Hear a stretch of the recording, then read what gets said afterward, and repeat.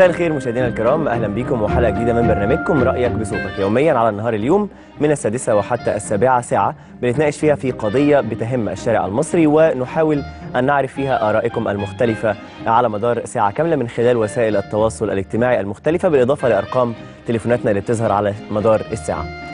آه، محاولات الحكومة على مدار السنين اللي فاتت مش بس بعد الثورة كمان على مدار السنوات ما قبلها دايما بتبقى مستمرة من أجل القضاء على البطالة. ولكن بعضها بيبوء بالفشل وبعضها أساسا لا يستمر مؤخرا وخلال يومين آه، ماضيين الحكومة أعلنت عن وجود شركة اسمها شركة أيادي للاستثمار والتنمية برأس مال 10 مليار جنيه بمساهمة حكومية 20% مقابل 80% للقطاع الخاص الغرض منها آه، هي إن هي تبقى مشروع وطني بيستثمر طاقات الشباب ويلبي في الوقت نفسه احتياجات وأولويات الشباب والتنمية في المحافظات المختلفة. بحسب الحكومة وبحسب بيانها وبحسب تعريفها لشركة أيادي إن هي بتهدف إلى توفير فرص عمل حقيقية ومنتجة للشباب تقدر بنحو نصف مليون فرصة عمل خلال السنوات الأربعة الأولى في مجال المشروعات الصغيرة والمتوسطة في كل المجالات التنموية في المحافظات غير طبعا تنمية المشروعات المختلفة.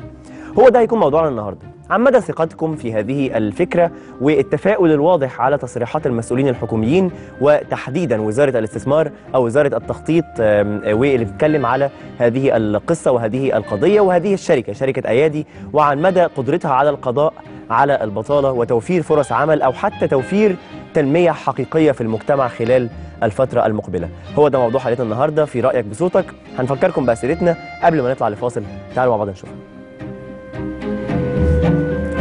هل تعتقد أن إطلاق الحكومة لشركة أيادي ستساهم في حل أزمة البطالة؟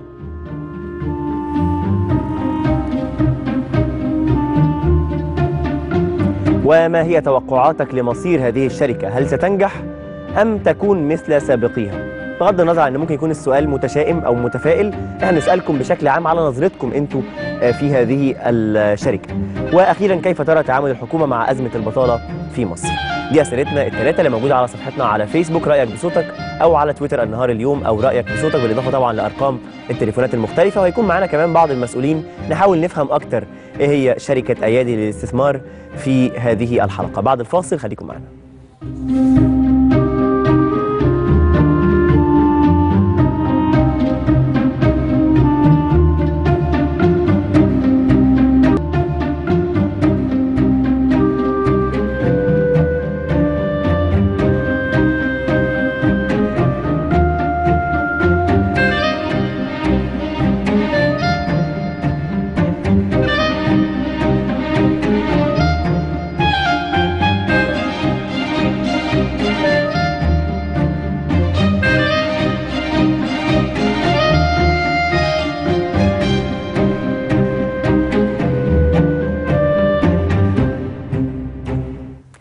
أهلا بكم من جديد مشاهدينا الكرام في حلقتنا من برنامج رأيك بصوتك.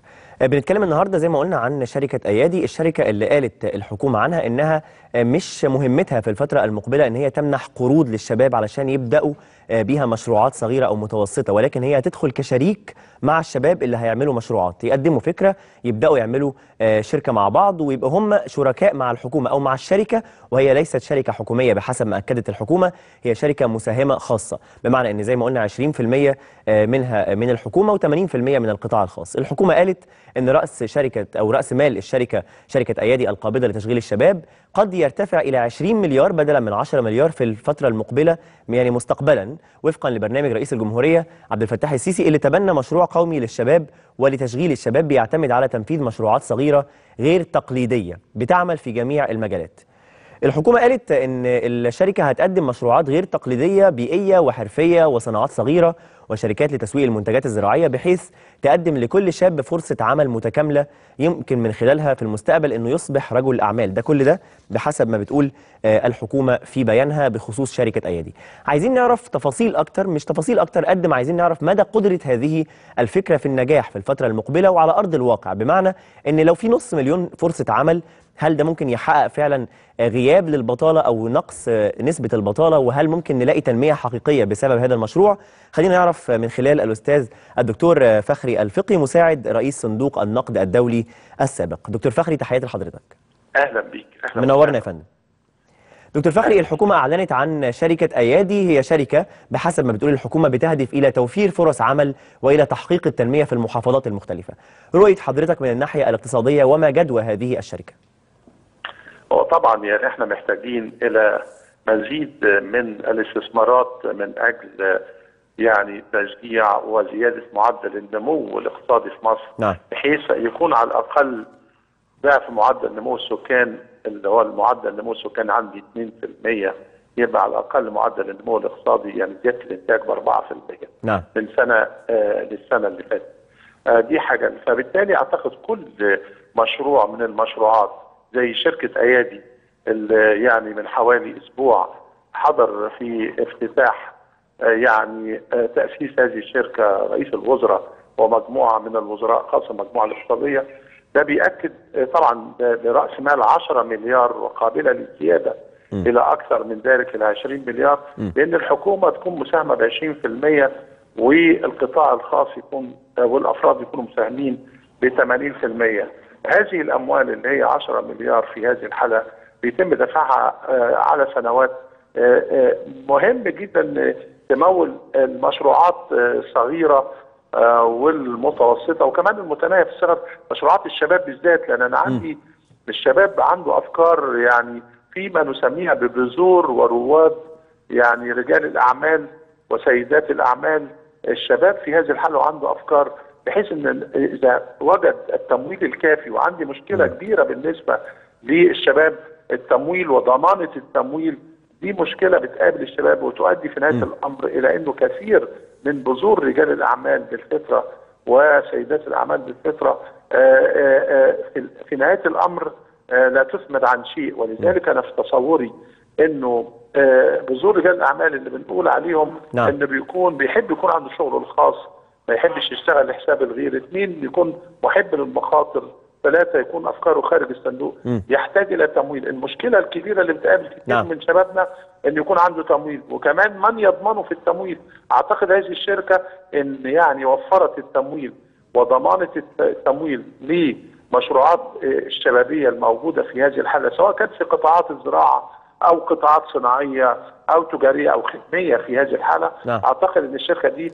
هتفلح في أنها تبرز لينا آه، يعني آه، رجال أعمال المستقبل وسيدات أعمال المستقبل طيب. لأنه الوضع في مصر حاليا هتجد المشروع الصغير يظل صغير وقد ينتهي به المطاف إلى إنه يعني آه يكون غير موجود طيب دكتور فخري، بمعنى- المشروع الكبير بيظل نعم. كبير في هذه الحالة طيب نعم. دكتور فخري يعني عايزين نعرف آه، إيه اللي ممكن أو محتاجة الشركة المقبلة تعمله آه، يخليها مختلفة عن أي فرص أو عن أي محاولات سابقة آه، كانت بتقوم بها الحكومة من أجل توفير فرص عمل أو تحقيق تنمية ولم تنجح يعني إيه اللي المفروض تعمله الفترة كده، اللي جاية أنت, عشان أنت تنجح عايز إيه؟ أنت عايز تخرج من الوادي الضيق اللي أنت فيه مظبوط كده؟ يعني التكدس الديموغرافي اللي إحنا فيه أثر على أشياء كثيرة جدا. ده حتى أثر مش مجا... على البيئة و... وما... و... و... وأثر على يعني قدرتنا على النمو وقدرتنا على الحركة داخل الوادي الضيق. أثر على القيم اللي إحنا القيم الاجتماعية اللي عندنا. ولذلك الخروج من الوادي الضيق مهم للغاية. آه بيتهيألي إن آه، ايجاد ما نسميه بالقرى الموازية. يعني عندي 4000 قرية في هذه الحالة. إذا قدرنا آه، نوجد 4000 قرية في الظهير الصحراوي وانه الشباب في هذه الحالة بيكون هو الداعم لهذه القرى الجديدة بإيجاد يعني النواه بتاعتها شركة آه، يعني مساهمة آه، وهذه الشركة المساهمة الحكومة تخصص ليهم يعني آه، ما بين 500 إلى 1000 فدان. هذه الفكرة حقيقة يعني بادر بها آه، أحد آه، المصريين والفكرة قابلة للتطبيق بالفعل بحيث إن كل قرية بنفس الاسم يكون لها قرية في الظهير الصحراوي حتى نتفادى البنى على الأرض الزراعية حتى كمان بيبقى في الخروج من الوادي الضيق. الشباب في هذه الحالة بيبقى عنده كل شاب بيكون له 10 افدنه بس مش مخصصة ليه آه، ولكنها على المشاع بحيث إن يكون معاه سهم.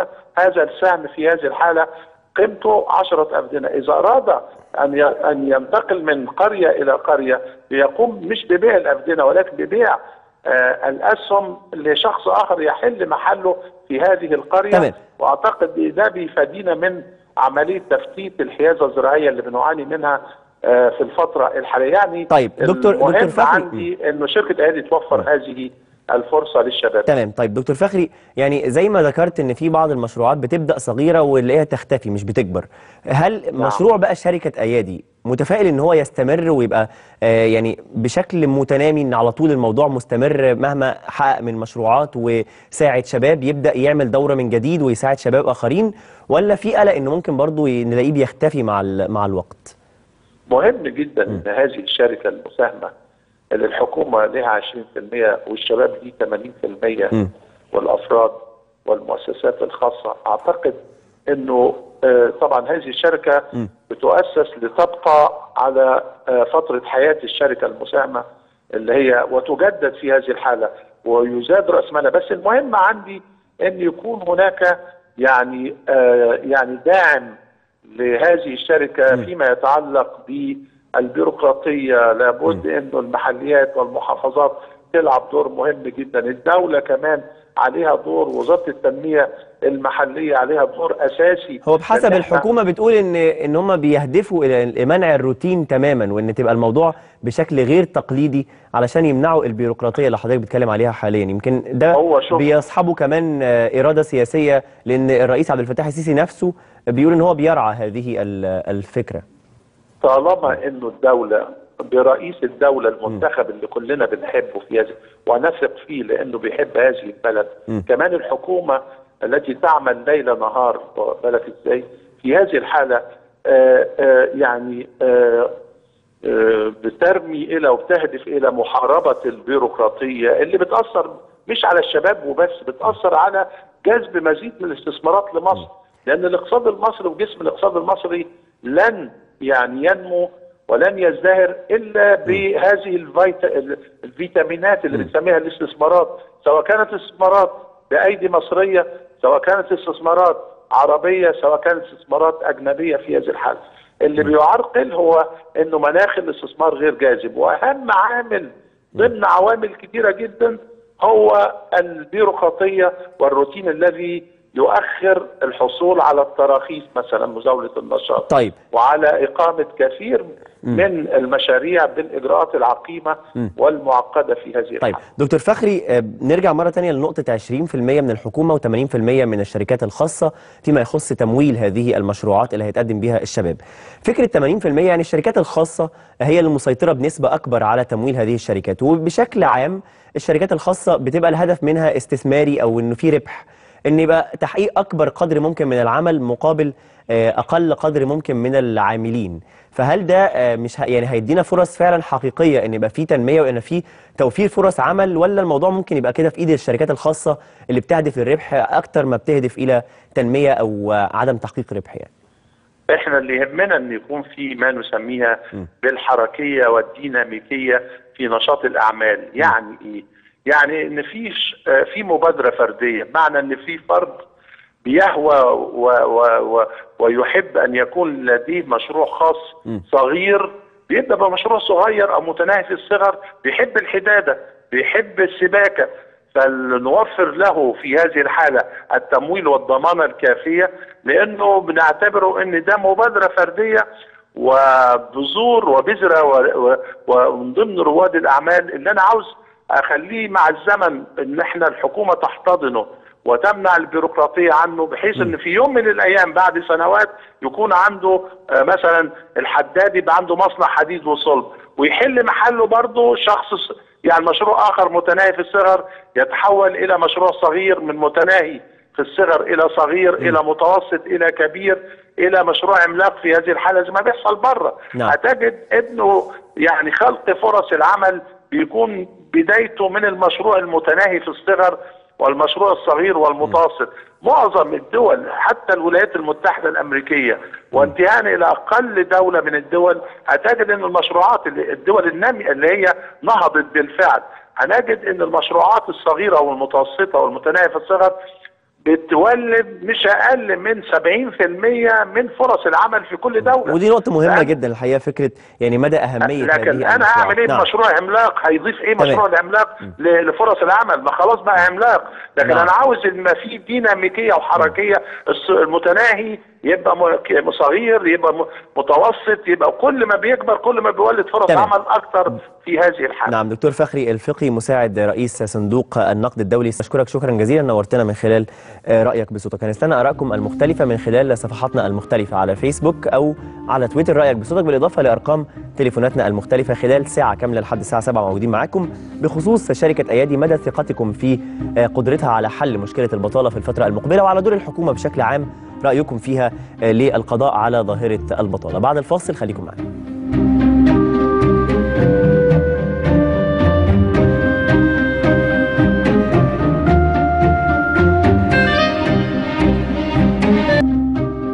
أهلا بحضراتكم من جديد. رجعنا لكم بعد الفاصل في حلقتنا من رأيك بصوتك. بنتكلم زي ما بنفكركم عن موضوع شركة أيادي واللي شفنا أسئلتنا آه، مطروحة الآن على صفحتنا على فيسبوك رأيك بصوتك هنستنى كل تعليقاتكم وهنقولها بإذن الله خلال هذه الفقرة. الشركة بتهدف حاليا إلى مواجهة البطالة وخلق فرص عمل حقيقية للشباب بعيدا عن الروتين والبيروقراطية بحسب ما بتقول الحكومة. الدكتور أشرف العربي وزير التخطيط والمتابعة والإصلاح الإداري أعلن عن البدء في إجراءات تأسيس الشركة بمساهمة من بنك الاستثمار القومي والاستثمار العربي وبنك فيصل الإسلامي وهيئة الأوقاف المصرية وشركة البريد للاستثمار وصندوق تحيا مصر والصندوق الاجتماعي للتنمية والمجتمع المدني متمثل في مؤسسة مصر الخير والقطاع الخاص متمثل في شركة القاهرة للاستثمارات السياحية والعقارية واتحاد الصناعات المصرية وجمعية شباب الأعمال واتحاد الغرف التجارية وكل من ممثلي القطاع الخاص الأساسيين. يمكن دي مجموعة كده من المعلومات. هنعرف تفاصيل أكتر عن هذه الشركة وعن مدى دورها في الفترة المقبلة في التقرير التالي اللي هنسمعه ونرجع بعد كده نكمل.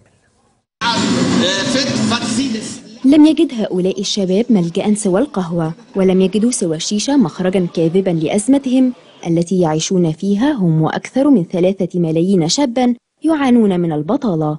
بحسب وزارة التخطيط فإن البطالة هي التحدي الأكبر الآن لهذا البلد الصاعد نحو التقدم حيث ارتفعت معدلات البطالة من 8% عام 2010 إلى 13% في عامنا هذا. للأسف عندنا تحديات كبيرة عندنا معدلات نمو ما زالت منخفضة 2% فقط معدل نمو في مصر خلال الثلاث سنوات الماضية. ده معدل نمو مؤكد ما يقدرش يخلق فرص العمل الحقيقية والمنتجة للشباب اللي تستوعب معدلات البطالة المرتفعة. مش بس كده جزء كبير من فرص العمل اللي اتولدت في مصر خلال الفترة اللي فاتت السنين اللي فاتت حتى في معدلات النمو المرتفع للأسف كانت في القطاع غير الرسمي وغير المنظم وبالتالي لو بنتكلم على جودة فرص العمل آه، هنلاقيها مستوى منخفض للغاية. وعلاجا للأزمة تبنت الحكومة شركة أيادي تحت شعار يلا نشتغل بهدف توفير أكثر من نصف مليون فرصة عمل مباشرة خلال السنوات الأربع الأولى من تأسيسها. شركة قال عنها محلب إنها ناجحة 100% لأسباب عدة. إنشاء أي شركة ليها سلسلة من الإجراءات. والإجراءات اتخذت دراسة عميقة من ناس متخصصة خدت وقتها. رأس مال النهارده بنعلن إن هذه الشركة أعلنت بعد ما طلع قانون لشركات تمويل الصناعات الصغيرة والمتوسطة. والحمد لله القانون طلع وبالتالي رؤوس الأموال موجودة. شركة أيدي تهدف إلى تنفيذ مشروعات اقتصادية بجميع المحافظات في مجال المشروعات الصغيرة والمتوسطة. فضلا عن تنمية تلك المشروعات. كل ذلك برأس مال قدره عشرة مليارات جنيه. تسهم فيه الحكومة بنسبة 20% مقابل 80% للقطاع الخاص بمشاركة عربية مصرفية فقط. حكومة محلب التي تسعى لتحقيق العدالة الاجتماعية قالت إن أيدي ليست الأمل الوحيد لحل أزمة البطالة فهناك العديد من الأفكار لمشروعات مهمة وحيوية ستوفر المزيد من فرص العمل داخل القرى والمدن وستقدم الخدمات بشكل راق. قلت يمكن عشرة حاجات أو عشر مشروعات ممكن نبتدي فيهم فورا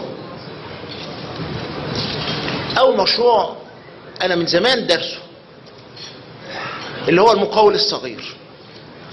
المقاول الصغير ده مشروع مدروس كويس جدا وابتدى تعخر ينطلق تاني لأن البلد بتنمو.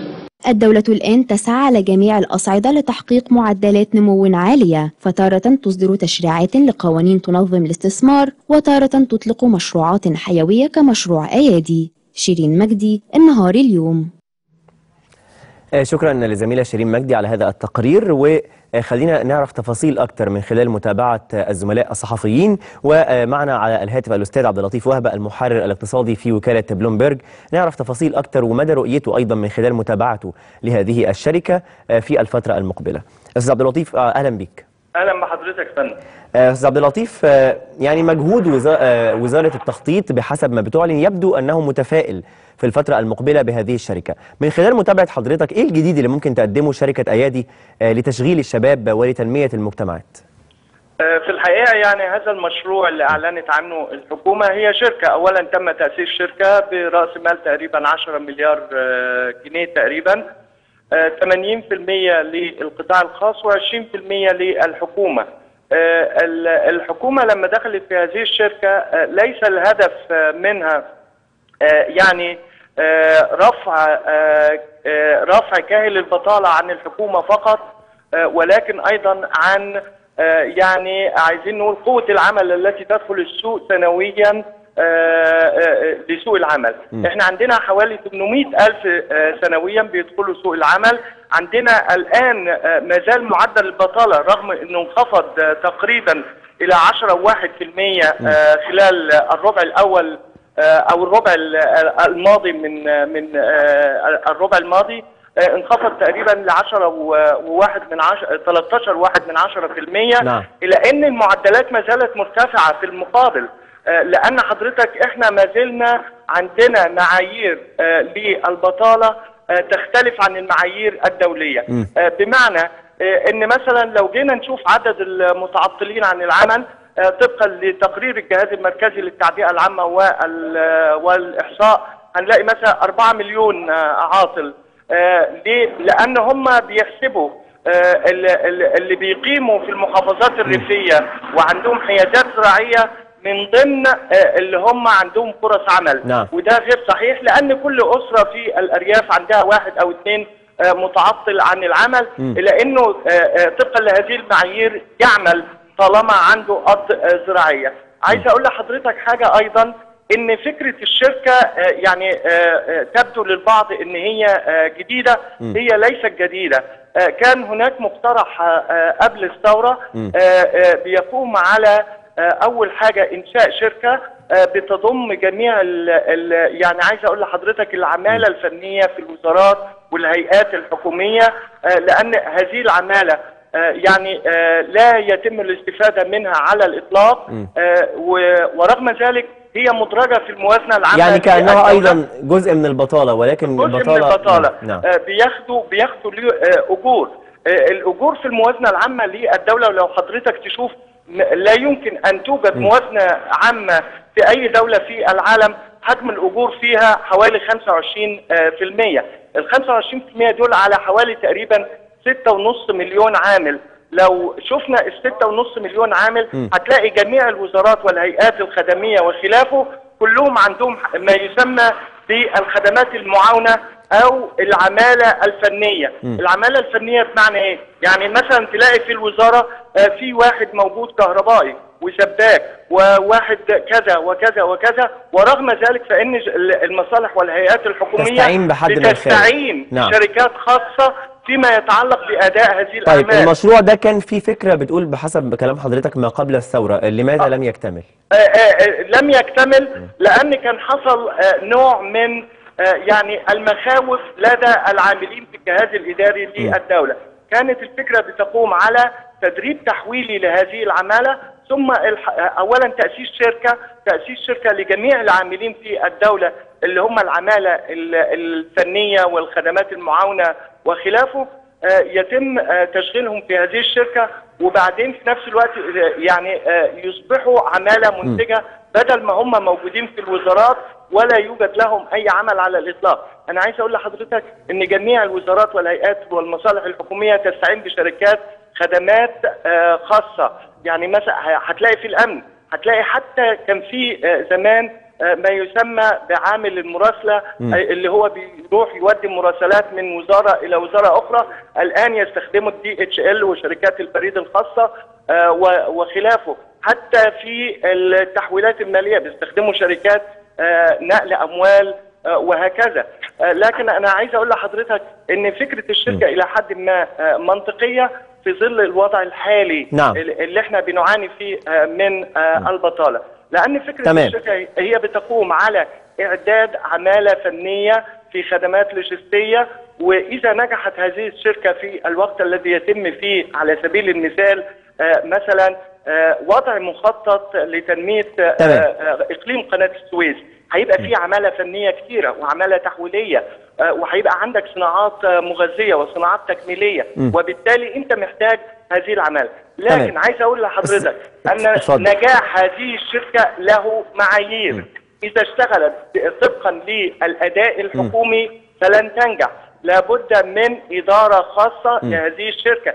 تحدد معايير التحاق الشباب ولكن يعني هو المقرر إن هي تبقى آه، يعني الإدارة حكومية أم إدارة خاصة هي لحد دلوقتي آه، 80% آه، منها آه، يملكه خاص. القطاع الخاص نعم. وبالتالي القطاع الخاص له اليد العليا. لهذه الشركة وأنا عايز أقول لحضرتك أن هناك اتجاه لربط التعليم. آه، بما يحتاجه تمام. السوق ليس من المعقول دي نقطة مهمة جدا فعلا ربط التعليم بما يحتاجه السوق ودايما بيتم التأكيد عليها حتى إذا لم تتحقق يمكن في الفترة الماضية. مع شكرا جزيلا أستاذ عبد اللطيف وهبة المحرر الاقتصادي في وكالة بلومبرج خلينا نرحب هاتفيا بالدكتور هاني سيف النصر رئيس بنك الاستثمار العربي ووكيل مؤسسي شركة أيادي دكتور هاني تحياتي لحضرتك. أهلا يا فندم أهلا السلام عليكم عليكم. وعليكم السلام ورحمة الله وبركاته. دكتور هاني خلينا نعرف من حضرتك يعني معايير تأسيس هذه الشركة شركة أيادي ومدى قدرتها في الفترة المقبلة على توفير فرص عمل للشباب بحسب ما قالت الحكومة. شوف أنا هقول لحضرتك هو طبعا ال- المناخ الاستثماري الحالي في البلد بيشجع لتكوين كيانات استثمارية تنموية كثيرة. شركة أيادي يمكن خطوة على خطوات كثيرة على طريق طويل في مجال التنمية والتشغيل. نعم. شركة أيادي البنك الاستثمار العربي هو بنك قطاع خاص آه، يعني آه، أول ما لقى مبادرة وزارة التخطيط الدكتور أشرف العربي بتكوين شركة استثمار كبيرة تقوم بالاستثمار مع بنك الاستثمار القومي. طبعا إحنا آه، ما بنقدرش نخش في أي شركات إلا بعد دراسات متأنية وجدنا إن شركة الأيادي هي شركة فعلا تستطيع أن تشغل وتحرك الاقتصاد القومي وتحرك آلياته بحيث تحقق الاستثمار ومعاه التنمية وبالتالي يحدث التشغيل. ف تم يعني الكلام ده بقاله أكثر عدة أشهر تم نعم. الدراسات اللازمة كلها القانونية والاستثمارية والمالية آه، حاليا دلوقتي الشركة آه، تم آه، الإعلان عنها. هي شركة برأس مال مرخص آه، 10 م- مليار. آه، هتبتدي في مساهمات في مؤسسات زي ما حضراتكم اتفضلتوا هتكون الحكومة بنسبة 20% والقطاع الخاص. عندنا بنك البنك الاستثمار العربي وبنك الفيصل الصندوق الاجتماعي وهيئة الأوقاف وصندوق تحيا مصر وصندوق آه، كتير من الصناديق تمام يعني عدة جهات طيب. المفروض دورها دورها. هيكون هتبقى في؟ إدارة. محترفه مم. أول حاجة عشان تقدر تنجح الشركة لازم يكون إدارة منفصلة عن فصل الملكية عن الإدارة فتم اختيار بالفعل إدارة على أعلى مستوى تتعامل مع آه، منطلق مثل هذه المؤسسات والشركات. تم اختيار الإدارة بناء على إيه؟ يعني أو من من بناء أي على؟ معايير TOR كاملة بناء على آه، تخصصات ناس المتخصصين في مجال الاستثمار مجال التنمية بيعملوا طول حياتهم في القطاع الخاص لهم خبرات في إنشاء مثل هذه الشركات محليا ودوليا مم. وسيتم إرساء هذا الوضع عليها يعني عندنا أمثلة. على مثلا الاختيارات أو أعضاء مجلس إدارة أو رئيس مجلس إدارة هو الشركة إحنا في سبيل التكوين لكن م. كل اللي إحنا بنعمله إن إحنا هيكون في مجلس إدارة آه، استراتيجي ما لا يتدخل في أعمال الاداره التنفيذيه لأن نعم. إحنا كلنا املنا إن إحنا نشغل ونحط الخطوط العريضة. أما هناك بنك الاستثمار العربي هو اللي قام باختيار أعضاء مجلس اداره وم- ورئيس المجلس؟ لا لا. بنك الاستثمار العربي هو بصفته عندنا آه، قطاع متكامل في البنك م. بيقوم بتأسيس الشركات وهو متبني هذه الفكرة منذ. اليوم الأول مع بنك الاستثمار القومي ووزارة التخطيط فهو المعهود به إنه يقوم بتنظيم الإجراءات المتعلقة. لكن طبعا هيتم آه، تشكيل مجلس اداره أول ما يتم تسجيل الشركة وزورها النور طبقا للأوضاع وطبقا للنسب وده المفروض خلال. الأسبوع المقبل تقريبا إنه المفروض إحنا يعني منذ الانطلاق إحنا بقى لنا ثلاث أيام حتى النهارده كان في مباحثات في هذا ال- ال- ال- المجال بحيث إن إحنا إن شاء الله في أقرب وقت ممكن تكون الشركة دي للنور. طيب أنا لما تبدا لما تبدأ الشركة الشركة- الآلية اللي هينطلق بيها الشباب من أجل التوجه إلى شركة أيادي اللي هتقوم شوف بمساعدة أنا هقول تمويل. لحضرتك حاجة أنا عايز أطمن الشباب إن هو لأول مرة تتم وضع آليات محددة كيفية تشغيل وخلق فرصة عمل حقيقية مستقرة.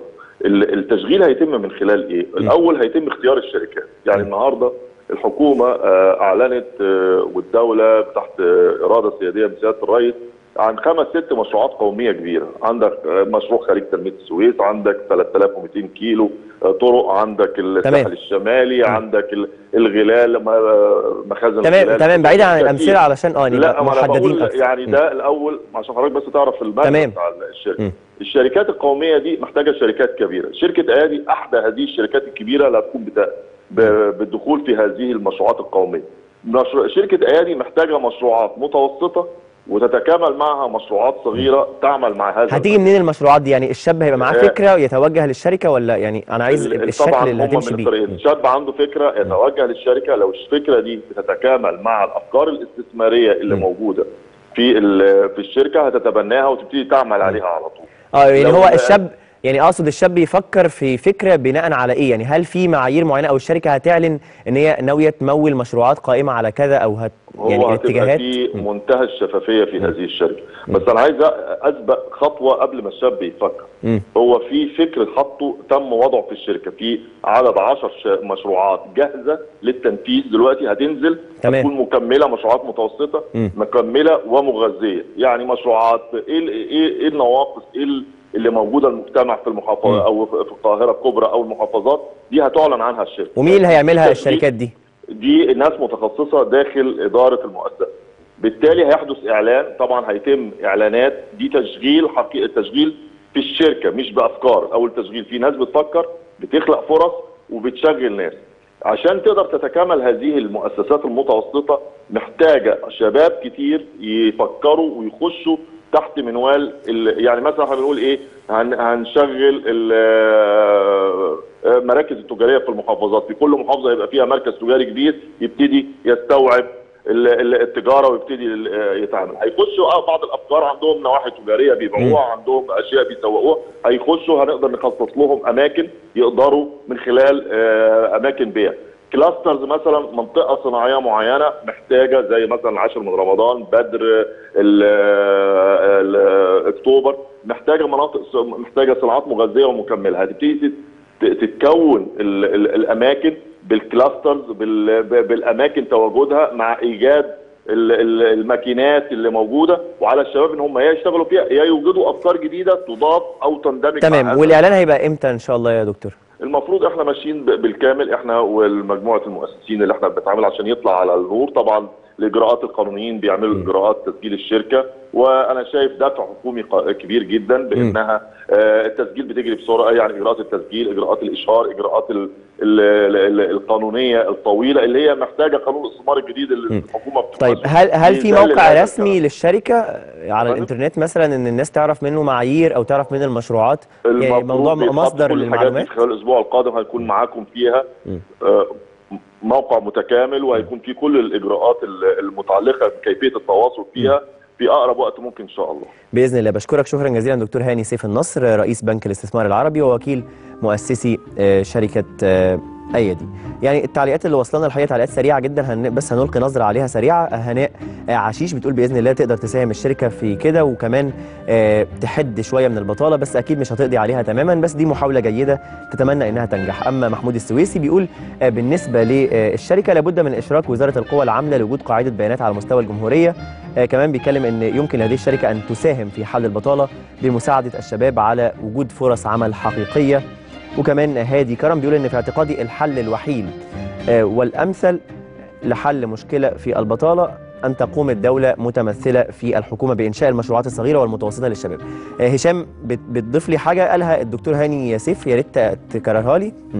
يعني هو بيقول إنه في قطاع مخصص في البنك لتبني الأفكار اللي هيقدمها الشباب لعرضها على شركة أيادي وتمويلها ده بعد ما ختمنا مع الدكتور هاني سيف بيقولها للزملاء والزميل هشام المياني.